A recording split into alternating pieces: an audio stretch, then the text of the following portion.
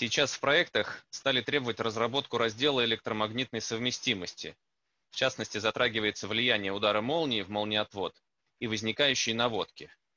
Как влияет на электромагнитную обстановку активный молниеотвод?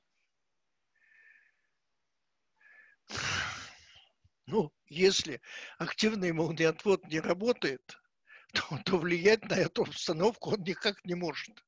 Она какая была, такая и остается.